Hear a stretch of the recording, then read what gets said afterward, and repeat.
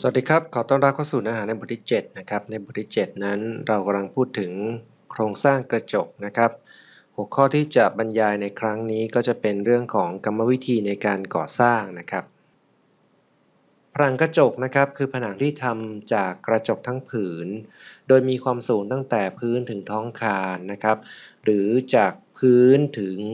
ท้องพื้นชั้นบนนะครับ หรืออาจจะสูงต่อเนื่องมากกว่า 1 ชั้นนะครับ มีทั้งบานกระจกแบบติดตายนะครับ และบานกระจกที่เป็นช่อง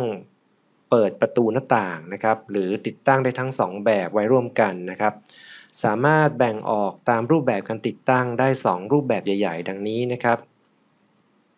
1. ได้แก่ระบบโครงสร้างผนังกระจกนะครับ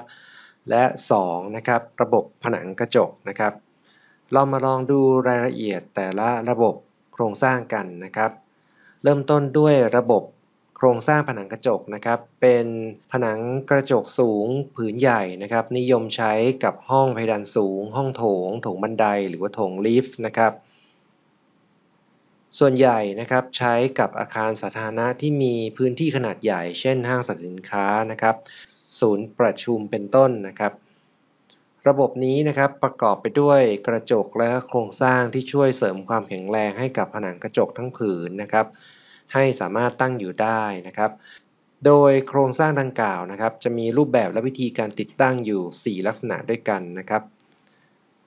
อันที่1นนะครับเป็นระบบการติดตั้งแบบโครงสันกระจกนะครับ เป็นระบบที่มีการยึดกระจกด้วย structural silicone 2 ด้านนะครับ ส่วนอีกด้านหนึ่งเป็น ตัวครอบกระจกนะครับ โดยมียางเป็นตัวอัดกระจก ดังนั้นภายนอก เราจะมองเห็นกรอบอลูมิเนียมยึดกระจกเพียงแนวเดียวนะครับ ซึ่งอาจจะเป็นแนวนอนหรือแนวตั้งก็ได้นะครับอันดับที่2นะครับเป็นแบบโครงสร้างเหล็กนะครับ ระบบนี้จะใช้เหล็กเป็นตัววัสดุหลักในการเสริมความแข็งแรงให้กับผนังกระจกนะครับ เนื่องจากเหล็กนะครับสามารถประยุกต์ใช้กับการออกแบบได้หลากหลายนะครับ และมีความแข็งแรงแน่นหนากว่าเฟรมอลูมิเนียม โครงสร้างเหล็กจึงเป็นอีกทางเลือกหนึ่งนะครับที่สถาปนิกนิยมเลือกใช้กันนะครับอันที่3นะครับเป็นแบบโครงสารเหล็กรับแรงดึงนะครับเป็นระบบที่มีการใช้สแตนเลสนะครับมาถักทอเป็นโครงสร้างผนังกระจกนะครับ เพื่อให้งานออกมาได้คุณภาพทั้งด้านความสวยงาม ความเรียบร้อย และความปลอดภัยนะครับ ระบบนี้นะครับจึงต้องใช้ผู้ที่มีความเชี่ยวชาญในด้านโครงสร้างกระจกติดตั้งเท่านั้นนะครับ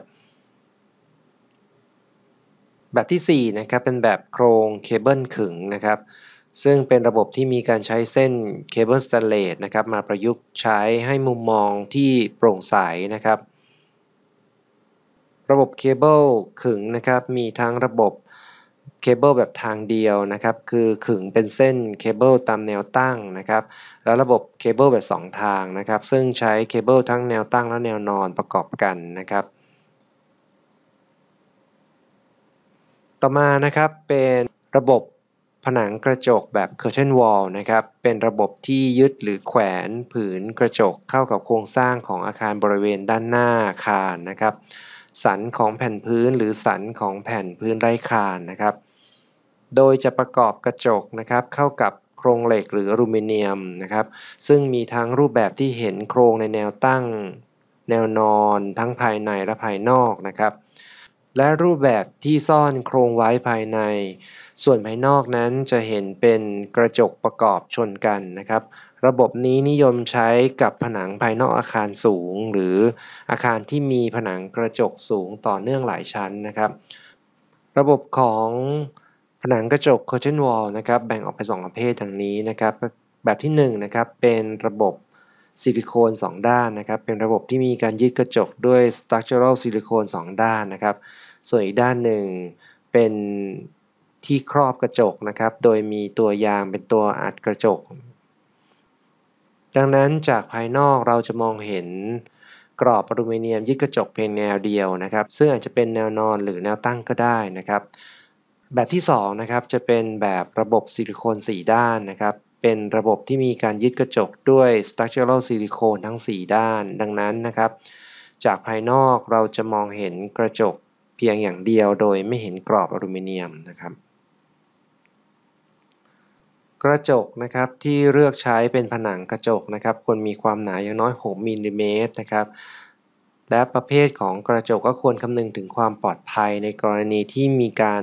แตกหักเสียหายนะครับ เช่น กระจก tempered นะครับที่แตกเป็นเม็ดข้าวโพดนะครับไม่แหลมคมหรือกระจก tempered laminate นะครับที่มีฟิล์มช่วยยึดกระจกไม่ให้ร่วงหล่นลงมานะครับ ทั้งนี้นะครับการเลือกกระจกการออกแบบและการติดตั้งนะครับ ควรอยู่ภายใต้คำแนะนำและก็ การทำงานโดยผู้เชี่ยวชาญเฉพาะทางนะครับ เพื่อป้องกันความเสียหายที่อาจเกิดขึ้นภายหลัง เนื่องจากกระจกเป็นวัสดุที่ค่อนข้างเปราะบาง แล้วก็มีวิธีการติดตั้งที่เฉพาะตัวนะครับสำหรับเนื้อหาในบทนี้นะครับก็จบลงเพียงเท่านี้นะครับ ถ้านักเรียนมีความเข้าใจในเนื้อหาที่อาจารย์ได้อธิบายไปดีแล้วนะครับ ก็ลงมือทำแบบฝึกหัดท้ายบทได้เลยครับ